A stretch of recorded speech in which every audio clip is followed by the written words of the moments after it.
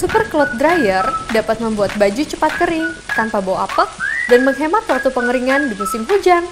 Juga dapat berfungsi sebagai pembunuh kuman pada pakaian dan sebagai penghangat ruangan.